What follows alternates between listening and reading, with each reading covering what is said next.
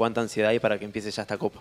Y bueno, la, ansiedad obviamente cuando se va acercando la fecha cada vez más grande, eh, pero ilusionados. Lanús eh, no ha competido, a no ser un partido con, con River ahí en, eh, el medio que, lo ganó cómodo y, los equipos argentinos son equipos dinámicos y este en particular es un equipo de, mitad de cancha hacia adelante rapidito que, que, llega por afuera, entonces creo que de repente una jugada te cambia todo el trámite del partido. ¿no? ¿Qué opinión te merece todo lo que pasó en relación a uno de los juveniles campeones sudamericanos como Rodrigo Amaral?